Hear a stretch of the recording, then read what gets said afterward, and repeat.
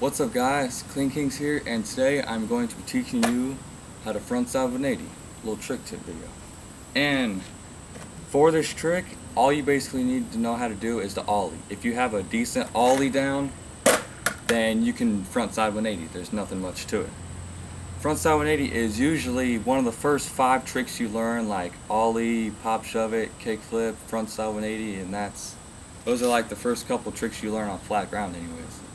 Now for this trick, instead of um, going straight up, you're gonna go, it's like a shove it, except you're on your board and you go with your board. So whatever way your board goes, that's the way you go. Now, for this trick to get the rotation of the front side 180, you need to wind up your body. And as soon as you do that, like when you wind up your body right before you pop it, and as soon as you pop it, you just bring it back. And I'm goofy, so this is the way I wind up for front side 180. You just bring it back as soon as you uh, pop it. So, I'll show you an example. Watch as I wind my arms and shoulders up, and even a little bit before I popped, I brought them back to get that 180 motion. And you're not going to get the rotation of the front side 180 down like that. It's going to take a few tries, and probably a lot.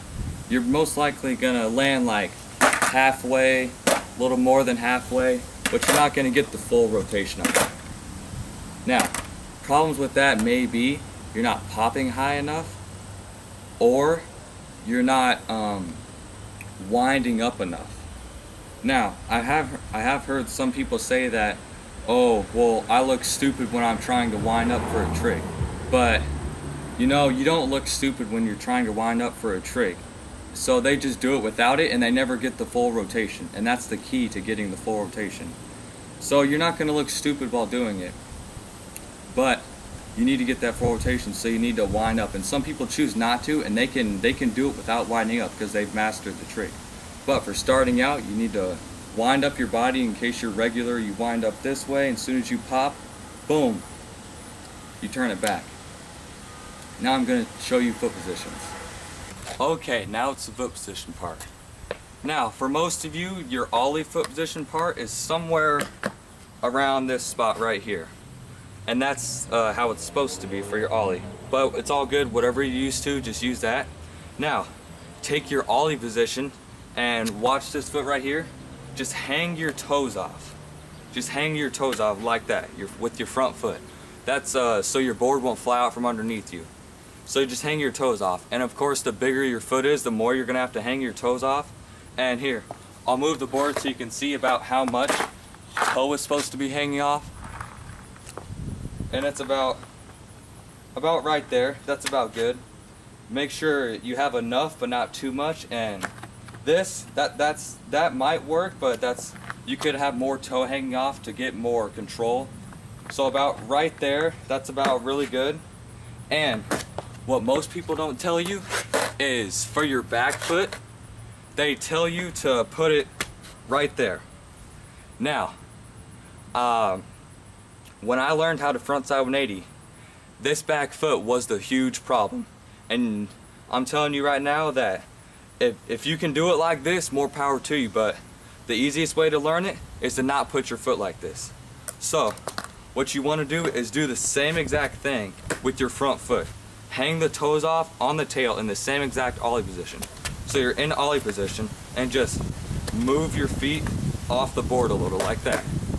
And if you do that, your um, it won't it'll stay right under you the entire time because if you try it with your regular ollie position here's an example of what happens the two front side 180s I'm about to show you I did land but look at the foot position on where I landed almost over half of my foot is hanging off the board on the heel side and you do not want to land like that if you're going fast or down a gap and you land like that it is not going to be a very good ending for you.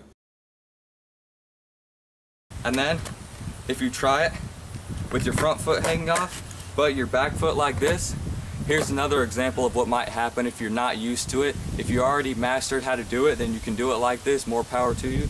But on how to learn it, you should, you guys, uh, this is what might happen. watch as almost instantaneously my back foot comes off and even for a split second my front foot also comes off because I have no control over the board without that back foot being on. And those are the problems that I dealt with for foot positions while I was trying to learn it. Okay, now I'm to talk about um, where are the good places to learn how to do this trick. Now, for a proper front side 180, you're supposed to roll away fakie or switch. But you're not, most of you won't do that when you're first trying to learn it. It'll take a couple days or a couple weeks to learn how to do that.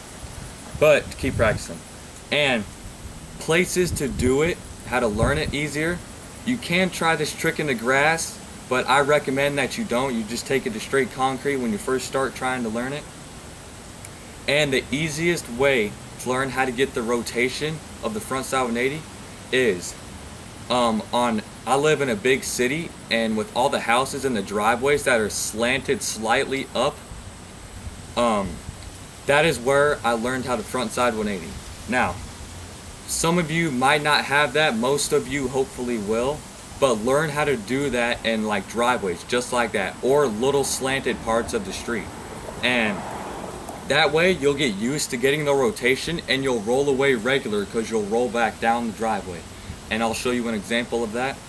In this first example I didn't get the rotation of the front side 180 fully because it's okay to get halfway or a little more so you guys can get used to it and getting uh, the winding up part down now for the second part, I got I winded up my shoulders a little bit more and I put a little bit more pop into it and I got the entire rotation. And you do it on the driveway because you probably won't be used to rolling away fakie yet, so you can just roll back down regular.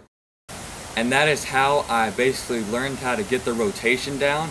And once I got that down, then I could take it to flat ground and I could roll away fakie and then I, later on I could roll away switch and then I could pop it higher so that's an easy way to get the rotation of the front side 180 down. And remember, hopefully when you start out, you'll go a bit, you'll go decently fast to where you'll have enough speed to roll away fakie, but if you're going too slow, like you can practice it if you're going too slow, but you just want to get the rotation of the front side 180 down so you can have it unlocked, then you can do that. So where you do the front side 180, you're moving, you do the front side 180, and you just stop right, right in your tracks. And that's okay, that's a good way to learn it. But after that, you're gonna wanna get more speed so you can keep rolling after you land. And then basically, that's all I have to say today. So if you have any questions, leave them in the comment section below and I'll get to every single one.